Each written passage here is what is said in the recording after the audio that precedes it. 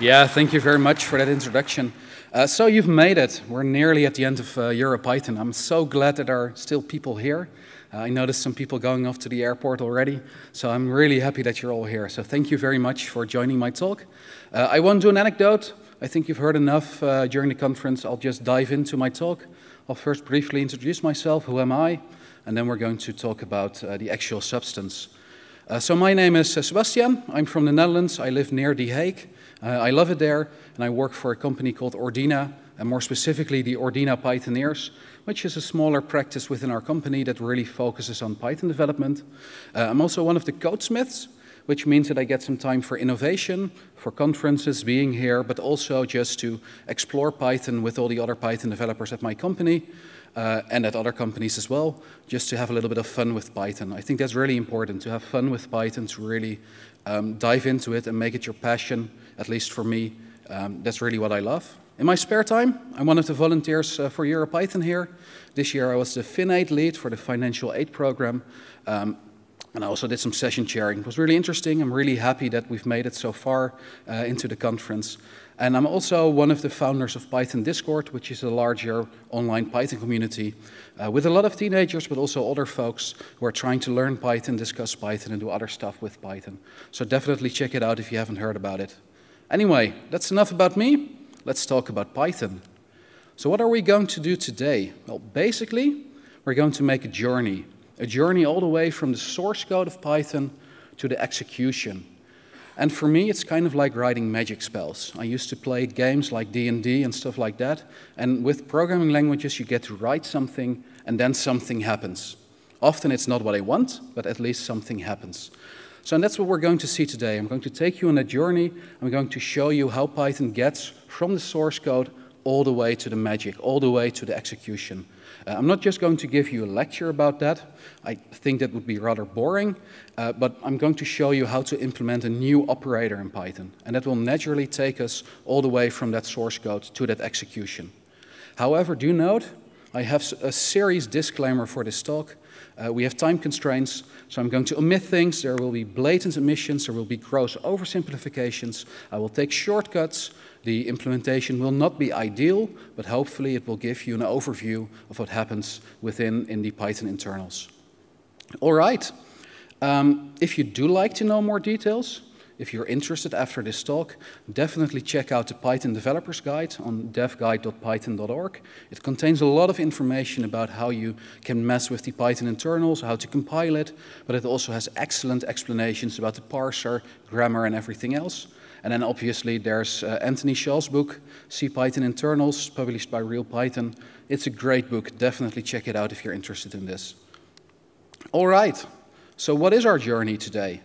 Well, we're going to go from source code to execution basically in two parts. In the first part, we're going to look at the tokenizer and the parser to create something called an abstract syntax tree.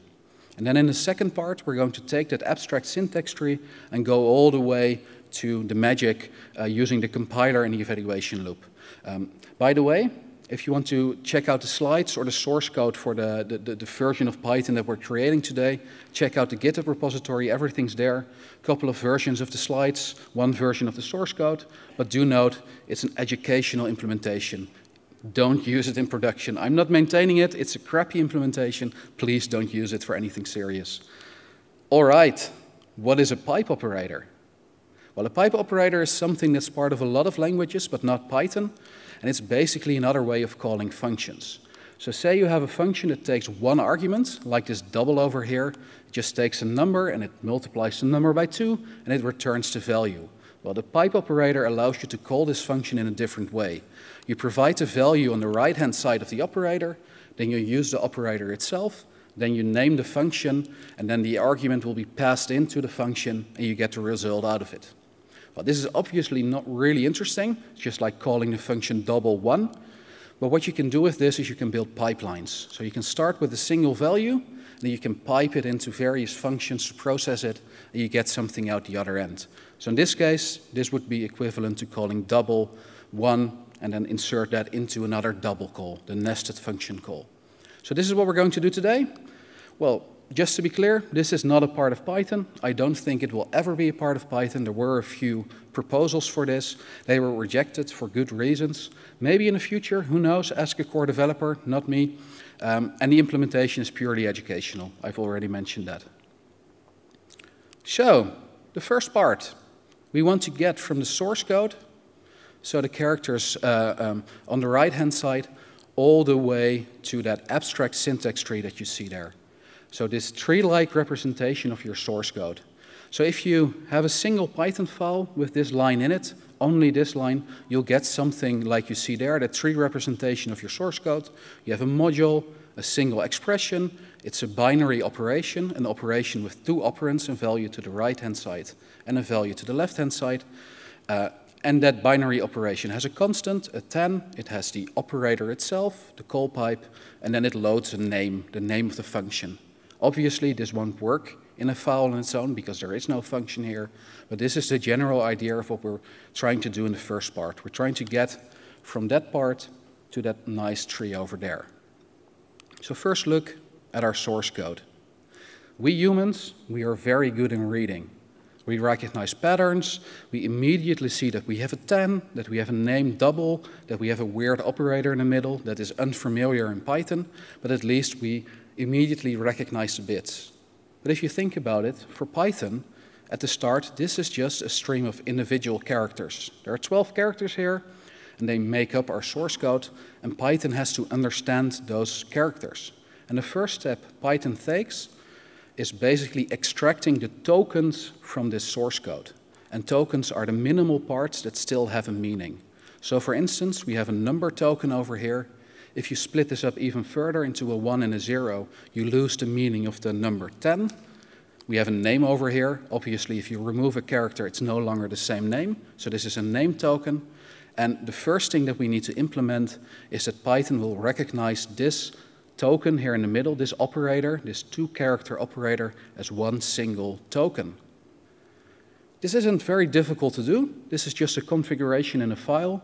If you look in the Python repository, there's a file grammar slash tokens, and it's just a big mapping of token names to token character sequences.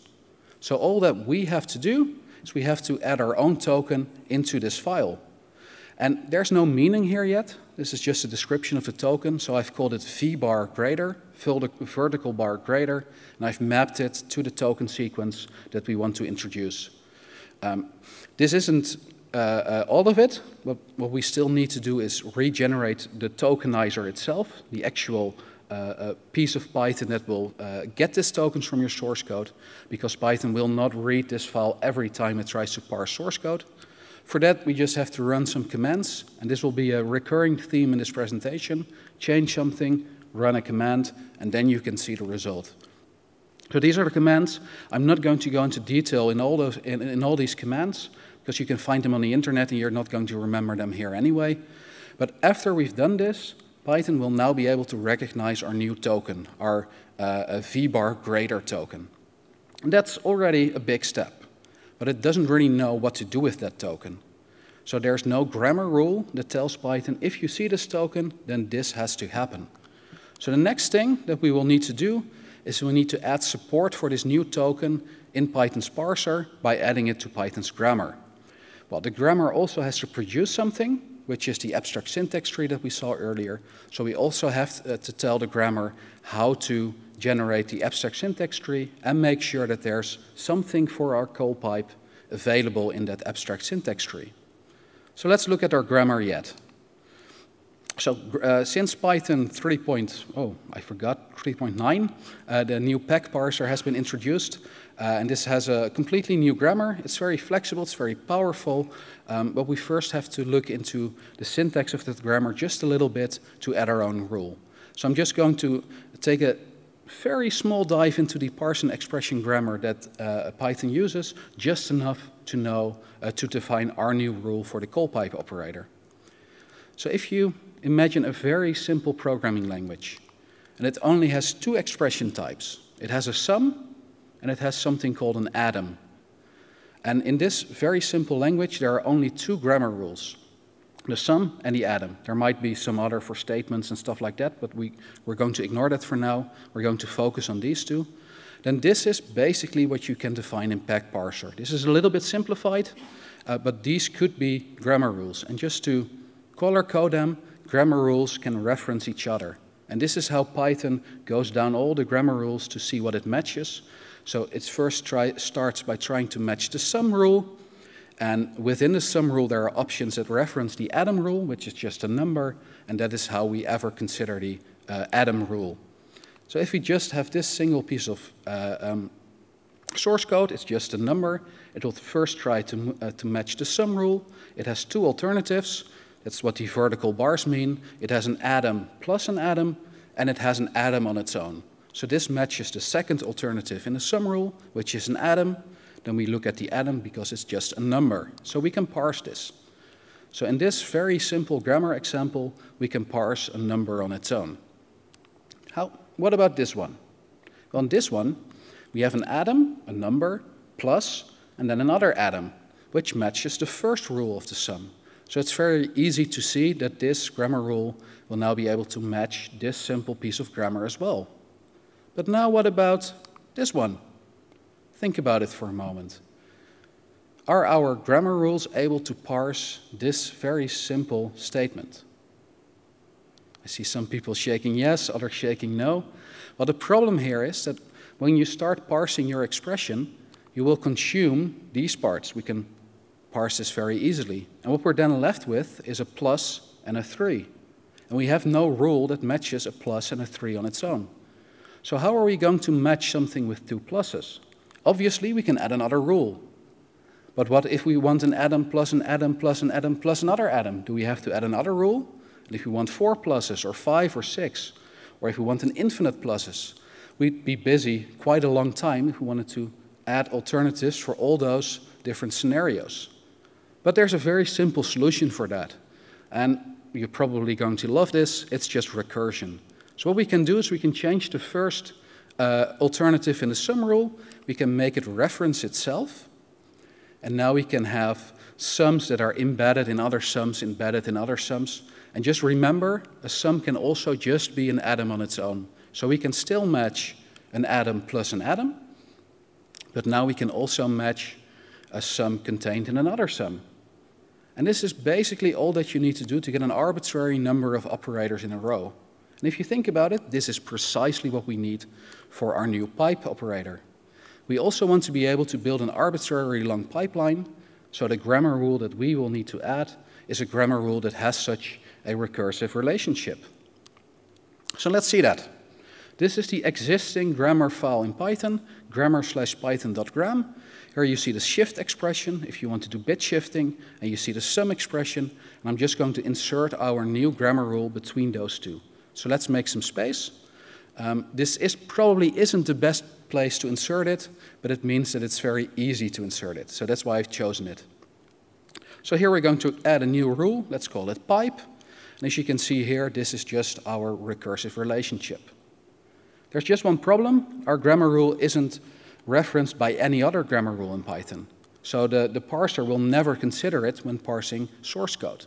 So what do we have to do? Well, if you look at the, the shift expression, it actually references the sum expression. That's how the grammar rules flow down.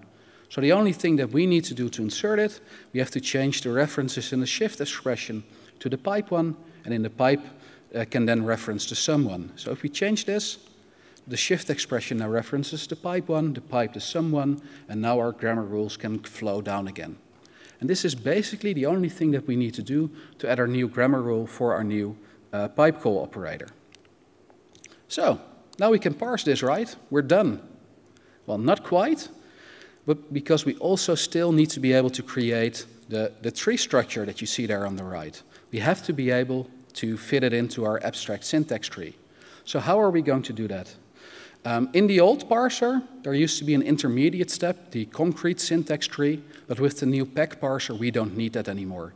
And the reason why is that because we now have something called grammar actions. If you look here, this is a grammar action between the curly braces, and because we're targeting CPython, this is basically just a piece of C code that is embedded into the grammar file. So whenever Python matches a sum rule, it will then call this C function to create the classes that we see there, to create the tree, tree structure that we see there? Well, to create a binary operation tree structure, we need the right-hand side of the operator, so the value, we need, we need the left-hand side, and we need the operator. So that's the information that we're going to pass into this function, and that we can do by assigning names to the parts that we match in our expression. So we match an A to the right-hand side, pass it into the function, we match a B to the left-hand side, pass it into the function. We know that this is an add operation because this is the sum rule, so we can hardcode the add operator. And there are some extra bits having to do with line number and stuff like that. We're going to ignore that for now, but they're very handy for tracebacks and other kinds of uh, interesting things. Um, so this is all we need to create a binary operation with an add operator. Can we now do that for our own rule? Obviously, we can just copy the approach because our new operator is also a binary operation. So we can just make it call the same function, but instead of using the add operator, we can use the call pipe operator here. Just one tiny problem. The AST uses classes, and there is no class called call pipe yet. It just doesn't exist yet. So we have to create that so that we can actually build this abstract syntax tree with that call pipe node somewhere in the middle for the operator field. So how do we do that? Is it difficult? Do we have to code a lot? Luckily not, because this is another configuration file. This is in parser slash python.asdl, which stands for Abstract Syntax Definition Language. And as you can see here, somewhere in the middle, there's a part for the operator, and here's our add option, just in an option list. Uh, and this is all you need to do to uh, uh, have a generator create classes for you. So what do we have to do? Just add our new operator at the end as another option. Then we regenerate the AST, we run another command, and now our classes will be created for us. So this is all we have to do to add support in the AST. Now we can regenerate the entire parser, and now we are actually able to parse expressions with the call pipe operator in it. You can see here that we have a binary binop node somewhere in our AST tree, and it actually uses a call pipe class object in there to represent the operator. So this is all that we need to do for the new grammar. And now we're done. Now we can go from source code to an abstract syntax tree. But this is all fairly static. Nothing happened yet. So to do that, we need to move on to part two, where we're actually going to uh, uh, where we're actually going to transform this into something we can run and then actually execute it. So in part two, we will look at the compiler so if you've ever joined an online discussion about is Python a compiled language or not, please don't. They're all very toxic. Uh, but we are going to compile this into some form of an intermediate language. We're going to compile this into a little bit of bytecode. Um, and to do that, we need to have a bytecode for our new operator, because bytecode is just a long list of instructions for Python a long sequence of bytes, a long sequence of numbers, and each instruction that we're going to execute has its own number or its own byte, and we need one for our new operation. And obviously, there is already a bytecode for calling functions, but I'm going to ignore that one because it isn't fun to use what's already in Python. So, we're going to add support to the compiler by creating our own instruction, then we're going to make the compiler actually use that instruction, write it into the bytecode, and then we're going to, uh, uh, to add support in the evaluation loop to actually do something with that code. So let's do that. This is the only Python file that we'll see today. We can use it to define our operation codes, our opcodes. Um, our opcode doesn't have an argument. Don't worry about that for now, but it means that it has to have a number lower than the have argument constant. So I'm just going to add it here. I'm going to call it binary pipe call. That's for us, so that we can understand it. And the bytecode, the number that we associate with the operation is 90. Then I have to increase all the numbers below it. That's a tedious job, but we'll have to do it. Now we can regenerate all the opcodes. Do you see the pattern yet? And now the opcode will actually be generated for us. Right, now we have an opcode. Now we still need to make the compiler actually write that opcode into the bytecode. So how are we going to do that? Well, the compiler is just going to visit all the nodes in our AST, and it has functions that handle that visit. And somewhere in our compiler, there's a function called compiler visit expr1, expression1, which eventually gets called to handle expressions. We don't actually have to change it, but there's an important fact here. If you look at this function, it's just a massive switch case operations. And for each type of expression, including the binary binop kind, uh, there's a special case. And here's our case. We first are going to visit the left-hand side of the operator, which is really important because we need that value, write all the instructions for it. Then we're going to visit the right-hand side, write all the instructions to evaluate the right-hand side, and then we're going to add the operation for the operator. And uh, to know which opcode to write, there's a helper function, binop, and this is the function that we actually need to change. This is another switch case statement. This will get an AST node, like this add here, and it will return the binop that we actually want to execute or add to the bytecode. So we need to add another case, write our binary pipe call operator, and now we can write it into the bytecode.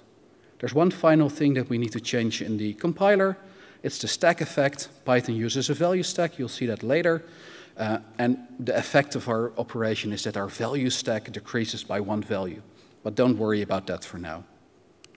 And this is the compiler. And now we can go from an AST to a long list of instructions. And this is all we need to write our uh, new operator, our new opcode into the bytecode. And now we get to the evaluation loop. And this is really where the magic happens. The evaluation loop, like the name says, is just one giant loop that goes around and around and around and around, executing all the instructions in the bytecode. And inside of that loop, there is a massive switch case statement. And I'm not uh, exaggerating, it's really massive. Look at the source code in python slash ceval.c. And for each opcode, it has a case. So for instance, here is the binary subtract. And this is the code that actually gets executed whenever it sees such an opcode for a binary subtract, something minus something else. But here we have a problem, because how do we get the values that were to the right and to the left of the operator? How do we get them back to actually process them here? Well, this is why Python uses a value stack. Um, and from that value stack, we can get the values that we need to perform the operation. Now, how does that work? Say that we have this simple expression, 4 minus 1. What we saw earlier is that Python will first write the instructions to evaluate the left-hand side. When it's done, it will put that value onto the value stack to remember it. Then it will evaluate the right-hand side, and it will put it onto the value stack. And the value stack is really a stack. It will put a 3 on top of the 4 on the value stack, just so that we're able to use them later. So when we enter this new function for the operator, the 3 and the 4 are on our value stack. So now that we can use the pop macro just to get the 3 out of the value stack and uh, make right point to that value. Uh, for left, we do something similar. We leave it on the value stack, but we make left refer to that value that's there on the value stack. Now we have our, uh, our values. We can call a C API function, PyNumber_Subtract, pass in the two values. We get a result out of it. Result will now point to the 1. We are now done with those values. We can uh, decrease the reference counts for the values. And then at the end, we need to do something with the result, with the resulting value. So what do we do? We just put it back on the value stack. We're going to replace the value that was already there. So after performing the operation, there's one less value on the value stack, and that was the minus one that we saw earlier. Then there's some error handling, and then we do a dispatch to say to the evaluation, please move on to the next value. So how do we do that for a binary pipe call? Well, we just copy paste this code, because this does basically what we need. We change the targets to our binary pipe call operator. We get the values like we did before, but now we don't want to subtract them. We want to call a function with a value. There's a very handy C API function in Python 3.9. It's not in the, the long-term stable one, so it might be deprecated, but it's very handy here. And here you can call a function with one argument. Uh, and remember, the function was on the right-hand side, so we pass in function uh, right first. The value was on the left-hand side, so we pass it in second. We get the result, decrease the reference counts and we uh, uh, put the resulting value back on the value, uh, value stack. And this is all we need to do to get from the AST to the magic. And now we've completed our journey. We can go all the way from source code to execution and all the steps that are in between. There's just one thing left to do. Let's compile our new version of Python. And if you're waiting for it, you, can, you might as well just have a sword fight. And after that's done, you can run your new version of Python and you can use your operator. It will actually uh, work if you follow these steps. There are some quirks, especially in operator precedence with this implementation, but it will work in principle. And basically, that's it. We've seen a lot of Python internals uh, in a short time. Don't worry about it. This is just for a framework. Check out the books, the dev guide. Source, uh, source code and slides are available. And if you get weird errors, try running make clean or clean all in Windows and look into something called the magic number because we've changed the bytecode version, so we need to change the bytecode version in CPython as well. Um, before we go, I hope you've, been, you've enjoyed EuroPython. It's been uh, great for me, but we also need to organize the next edition in uh, 2023. I don't know when or where it's going to be, but if you want to be a volunteer just like me, uh, join us to help organize Python uh, 23. You can send an email there, or you can just uh, talk to me after my talk. And that's it. I hope you've enjoyed my talk. Thank you very much. Thank you very much. Thank you. Wow, wow, wow. Uh, I expect gonna be, we, are going to see a lot of forks of Python nowadays. Like. um, so, do we have questions? So, when you'll be ready, just queue up, and we have we can. Okay, go on.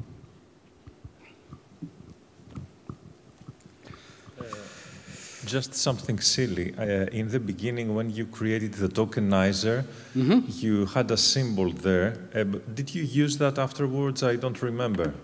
The, the symbol, the, the, the, the, vertical bar and the... Yeah, the V-bar uh, yeah. greater. Yeah. Well, we don't use the name. That, that we can use it to tokenize our output, uh, but we haven't used the name in the grammar. Um, so we haven't used the name, but the, the token sequence is obviously our new operator. So that's the actual operator that we use um, so, so why did we give it a name? Um, because we had to. Mostly for us humans to make it readable. Okay. so uh, yeah. Okay, another one, please. Yeah. Thank you for the talk. I really enjoyed it. I have like stupid question. Like every time I'm hear that like the bytecode evaluation is just a loop looking at the top of the stack, it seems so like limiting. Like you have just like one value you can look at. How does it happen that it like has like normal performance? Like it doesn't. Yeah. It's very interesting. So there are obviously a lot of uh, optimizations in there, but basically this is just kind of like a virtual machine. You have instructions, you have a value stack that you keep track of, some kind of register, and, and that's really powerful. You can really do a lot with it.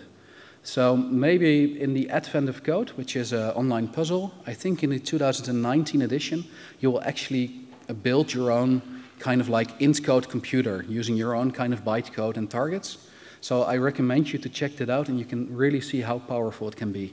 So uh, I, am not quite sure how uh, uh, performant you can get it, but uh, have fun. yeah, thanks. So um, I don't see anyone else keen. I have a question though. Yeah. So one minute uh, to describe what's the magic number. The magic number. So uh, I actually had a, a, file about this. So whenever Python uh, compiles your code, it will write to a PyC file. You've probably seen it somewhere, and that bytecode is versioned. It has all the instruction numbers in there. But if you're going to change the instruction numbers, then obviously all the old bytecodes, they're no longer valid. They use the old numbers. So there's a kind of a versioning in Python. It's called the magic number, and it will version that bytecode. You can actually change that magic number if you change the, the, the bytecode opcodes so that all the old uh, PyC files will be uh, marked as, uh, how do you say that, stale, and it will recompile all your Python. So just to avoid very weird things happening with old bytecodes, with changed bytecodes, it, it gets a mess. So that's why that's the, the magic number. Yeah. Thanks. Well, thank you. And this is the, all the time we have. So uh, please uh, give a round of applause now. Thank you very much.